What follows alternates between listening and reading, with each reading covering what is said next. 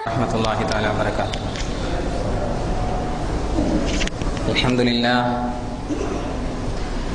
الحمد لله نحمده ونستعينه ونستغفره ونؤمن به ونتوكل عليه ونعوذ بالله من شرور أنفسنا ومن سيئات أعمالنا. من يهده الله فلا مضل له ومن يضلله فلا هادي له. ونشهد أن لا إله إلا الله وحده لا شريك له ونشهد أن سيدنا محمدا عبده ورسوله. اللهم صل وسلم وبارك عليه. بسم الله الرحمن الرحيم. سبحانك لا علم لنا إلا ما علمتنا إنك أنت العليم الحكيم. إن أريد إلا الإصلاح ما استطعت وما توفيقي إلا بالله. عليه توكلت وإليه أنيب قال النبي أشرف الخلق محمد صلى الله عليه وسلم اتقوا النار ولو بشق تمرة أو كما قال عليه الصلاة والسلام கண்ணியத்திற்கும் பெரும் மதிப்பிற்கும் மரியாதைக்கும் உரிய பெரியவர்களே பாசத்திற்குரிய அருமையான சகோதரர்களே வருங்கால இஸ்லாத்தின் சந்ததிகளே அல்லாஹ்வுடைய கிருபையும் நபிகள் நாயகம் ஸல்லல்லாஹு அலைஹி வஸல்லம் அவர்களுடைய அன்பும் ஷஃபாத்தும் நம் அனைவர்களின் மீதும் என்றென்றும் உண்டாகட்டுமாக. கண்ணியமிக்கவர்களே நாம் இந்த சமூகத்தில் ஏற்பட வேண்டிய மாற்றத்தின் அவசியத்தை பற்றியும் அப்படி ஏற்படாவிட்டால் அது எது மாதிரியான விளைவுகளை சந்திக்கும் என்று குரான் இந்த சமூகத்தை எச்சரிக்கிறது என்பதை பற்றியும் பேசிக் கொண்டு வருகிறோம். இந்த சமூக மாற்றம் என்பது எப்பொழுது ஏற்படுகிறதோ அப்பொழுதுதான் இந்த சமூகம் உலகத்தின் தலை சிறந்த சமூகமாக உலகத்தின் கண்ணியம் மிக்க கௌரவம் மிக்க மேன்மை மிக்க சமூகமாக மாற முடியும். அதே நேரத்தில் மறுமையிலும் அல்லாஹ் இந்த சமூகத்திற்கு எதை வாக்களிக்கிறானோ அதை அடைந்து கொள்ளவும் முடியும். நாமெல்லாம் எதற்காக வேண்டி இந்த மாற்றத்தை முயற்சி செய்து கொண்டிருக்கிறோம்? எதற்காக வேண்டி இந்த பள்ளியிலே குழுமி இருக்கிறோம்? எதற்காக வேண்டி இன்ன பிற காரியங்களை சிரமப்பட்டு செய்து கொண்டிருக்கிறோம் என்று சொன்னால் அல்லாஹு வாக்களித்திருக்கக்கூடிய அந்த உயர்தரமான கூலி என்ற சுவர்க்கத்தை அடைவதற்காக வேண்டித்தான். எனவே சுவர்க்கத்தை அடைவது என்பது ஒரு தகுதி அதற்குண்டான தகுதி இந்த சமூகத்திற்கு இருக்கிறதா என்பதை அல்லாஹு தாலா சோதிக்கிறான் எனவேதான் அல்லாஹு சொல்கிறான் அம் ஹசிபத்தும் மன் ததுகுலுல் ஜன்னத வலம்மா يعلم الله الذين جاهدوا منكم ويعلم الصابرين நீங்கள் எண்ணிக்கொண்டீர்களா நீங்கள் சுவர்க்கத்திலே நுழைந்து விடலாம் என்று எண்ணிக்கொண்டீர்களா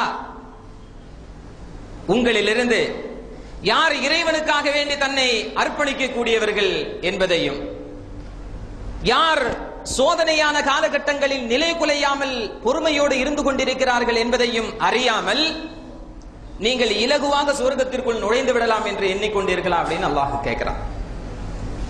சுவர்க்கம் என்றால் என்ன சகோதரர்களே? அல்லாஹ் சொல்றான் மசலுல் ஜன்னத்தில்லதி உழைதல் முத்தகூன்.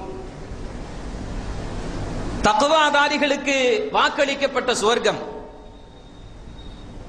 இறை அச்சம் உடையவர்களுக்கு வாக்களிக்கப்பட்ட சுவர்க்கத்தினுடைய மாதிரி சுவர்க்கம்னு சொல்லல அல்லா அதனுடைய மாதிரி. ஃபீஹா அன்ஹாருன் அதிலே ஆறுகள் இருக்கும் நீர் ஓடைகள் இருக்கும். மிம்மா இன் கைரி ஆசின். எத்துணை காலங்கள் எத்துணை தூரங்கள் அந்த நீர் ஓடி சென்றாலும் கூட அதனுடைய நிறம் மாறாது. வீட்டுல பாத்திரத்துல தண்ணியை பிடிச்சு வச்சிருக்கிறோம். ஒரு நாள் ரெண்டு நாள் மூணு நாள் ஒரு வாரத்துக்கு மேல ஆச்சுன்னா அதனுடைய நிறம் மாறிவிடும் அப்புறம் பியூரிஃபையர் தான் வாங்கணும். சுவர்க்கத்தினுடைய நீர் அப்படி இல்லை அந்த நீர் மாறவே மாறாது. அப்படிப்பட்ட ஆறுகள் அங்கே ஓடுகிறது. அல்ல அதனுடைய மாதிரியை சொல்றோம் அன்ஹாரும் அங்கே பால் ஆறுகள் ஓடும். இங்க இருக்கிற மாதிரி பதனிடப்பட்ட பாக்கெட் பால்கள் அல்ல. அல்லது ஆவின் பால் மாதிரியான பால் அல்ல. அல்லது நீர் கலந்து கொண்டு வரக்கூடிய பால் அல்ல. அந்த பாலை சூடாக்காமல் வைத்தால் கெட்டு போயிடும் பால். புளிப்பு சுவை வந்துவிடும். அல்லது தயிரா மாறிடும் அல்லாஹ் சொல்றான் சுவர்க்கத்தினுடைய இந்த பால் ஆறு ஆறுகள் காலாகாலம் அந்த சுவை மாறாமல் அப்படியே இருக்கும். லம் யதகையர் தாமுகு அதனுடைய சுவை மாறவே மாறாது.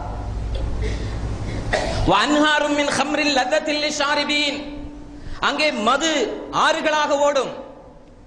லோக்கல் சரக்கு இல்ல டாஸ்மார்க் சரக்கு இல்ல அது குடிப்பவர்களுக்கு இன்பங்களை மகிழ்ச்சியை மட்டுமே தரக்கூடிய மது அது ஆறுகளாக ஓடும். சும்மா பாட்டில் அடைச்சு வச்சிருக்க மாட்டாங்க ஆறு. நீந்தி குளிக்கவும் செய்யலாம் குடிக்கவும் செய்யலாம்.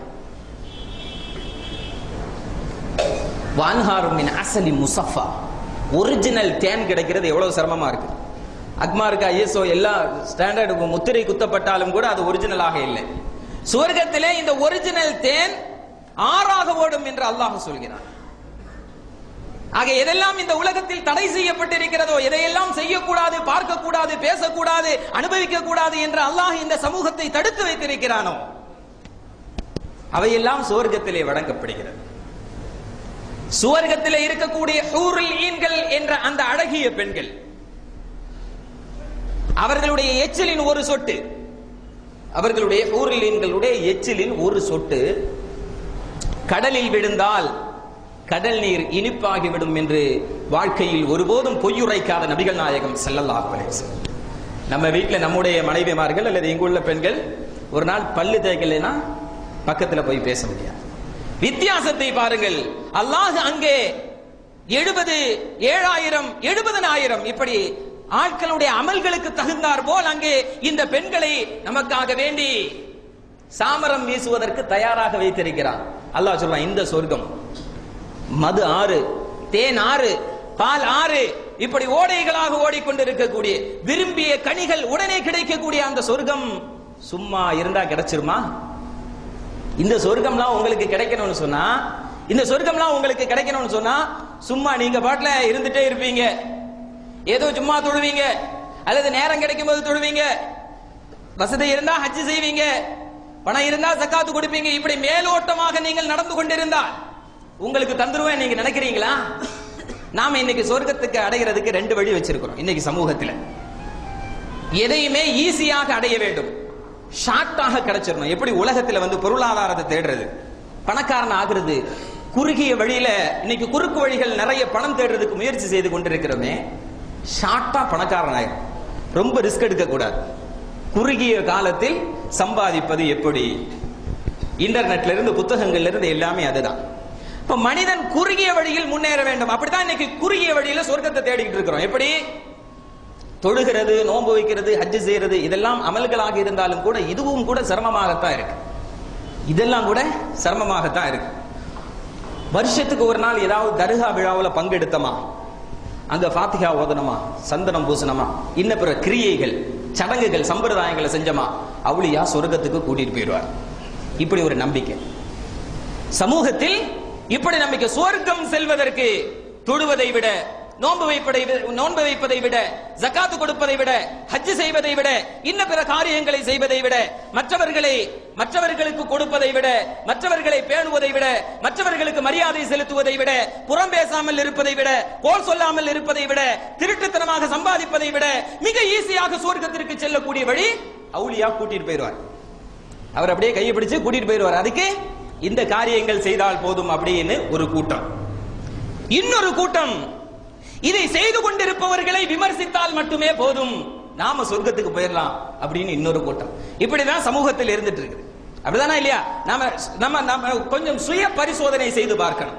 ஒன்று குறுக்கு வழியிலே சுவர்க்கத்தை தேடக்கூடிய குராபிகள் மற்றொன்று அவர்களை விமர்சிப்பது மட்டுமே சுவர்க்கத்திற்கு உரிய வழி என்று சொல்லி சொல்லிக் கொண்டிருக்கக்கூடிய மாடர்ன் தௌஹீத்வாதி ரெண்டு பேருமே நினைக்கிறாங்க நாம இப்படி செஞ்சா சொர்க்கத்துக்கு போயிடலாம் இவங்க நினைக்கிறாங்க நாம இத தடுத்தாச்சுன்னா சொர்க்கத்துக்கு போயிடலாம் அல்லா சொல்றான் அம் ஹசிபத்தும் அன் தத்குலுல் நீங்க இப்படி எல்லாம் செஞ்சா சொர்க்கத்துக்கு போயிடலாம் நினைக்கிறீங்களா? வலம்மா யாலமில்லாஹு அல்லதீன ஜாஹது மின்கும். யார் யார் உங்களில் தன்னை அர்ப்பணிப்பதற்கு தயாராக இருக்கிறார்கள்? தங்களுடைய நேரத்தை தங்களுடைய பொருளாதாரத்தை தங்களுடைய பிள்ளைகளை தங்களுடைய உயிரை தங்களுடைய உறுப்புகளை தங்களுடைய நாடை தங்களுடைய வீடை தங்களுக்கு கிடைத்திருக்கக்கூடிய அதிகாரத்தை தங்களுக்கு கிடைத்திருக்கக்கூடிய செல்வாக்கை இந்த மார்க்கத்திற்காக வேண்டி துறக்காத வரையிலும் இந்த மார்க்கத்திற்காக வேண்டி இழக்காத வரையிலும் அல்லாஹு சில சங்கடங்களை ஏற்படுத்துகின்ற பொழுது அவைகளுக்காக வேண்டி இதை இழக்காத வரையிலும் நீங்க சொர்க்கத்துக்கு போயிடலாம் நினைச்சிட்டு இருக்கிறீங்களா அப்படின்னா போக முடியாதுன்னு சொல்றோம். நாம இன்னைக்கு சொர்க்கவாசிகள்னு சொல்றோம். நாங்க தான் சொர்க்கவாசிகள். எல்லாரும் சொல்றது நாங்க தான் சொர்க்கவாசிகள். மினல்லதீன ஃபர்ரகூ தீனஹும் மகானு ஷியா. அல்லாஹ் சொல்றான் அவர்களிலிருந்து இந்த மார்க்கத்தில் ஒவ்வொரு கூட்டமும் குல்லு ஹிஸ்பின் பிமா லதைஹிம் ஃபரிஹூன். அவர்கள் எதை சார்ந்திருக்கிறார்களோ அதை கொண்டு சந்தோஷம் அடைந்து கொள்கிறார்கள். நான் தர்காவுக்கு போறேன்னா நான் நினைக்கிறேன். நான் இருக்கிறதா யதார்த்தம். நான் தான் சொர்க்கவாசி. நான் அதை விமர்சிக்கிறேன்னா நான் நினைக்கிறேன். அவெல்லாம் சரி கிடையாது. நான் சொல்றதான் சரி. நான் தான் சொர்க்கவாசி.